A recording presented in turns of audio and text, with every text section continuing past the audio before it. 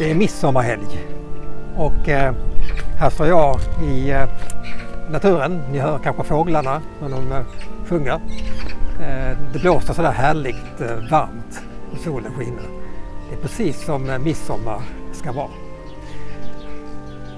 Och nu är det också årets ljusaste period. Solen går nästan aldrig ner och det är ljust långt, långt in på kvällen.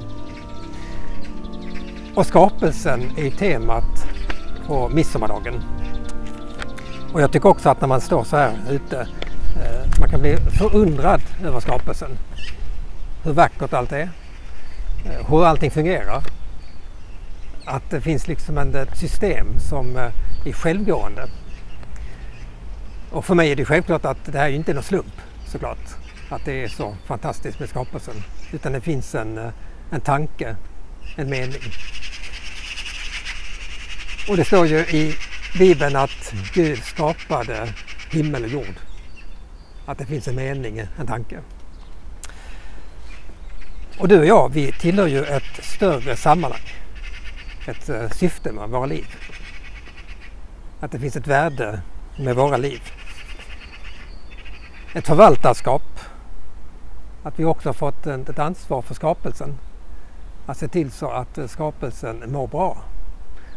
Och det är väl också aktuellt i dessa tider när det gäller klimatförändringar och annat.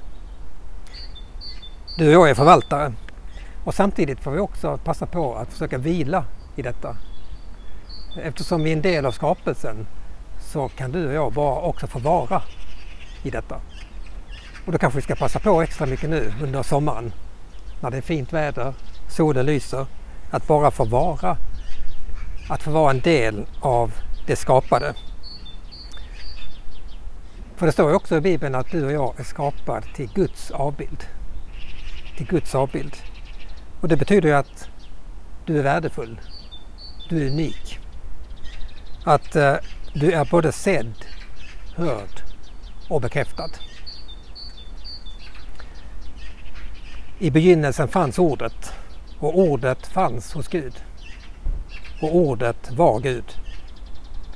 Det fanns i begynnelsen hos Gud. Allt blev till genom det. Och utan det blev ingenting till av allt som finns till. I ordet var liv. Och livet var människornas ljus. Och ljuset lyser i mörkret. Och mörkret har inte övervunnit det. Vi ber. Gud, du som föder liv i universum. Vi tackar dig för rymdens väldighet, för jordens skönhet, för havens majestät och bergens ro.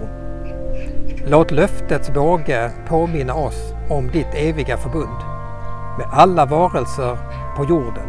I Jesu namn. Amen.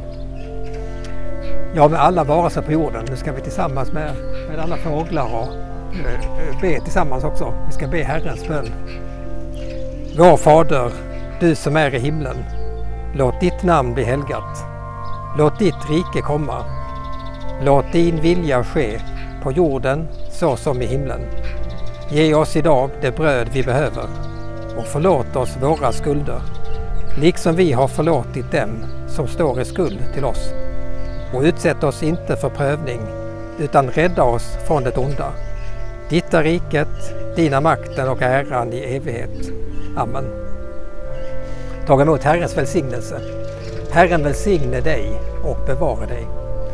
Herren låter sitt ansikte lysa över dig och vara dig nådig.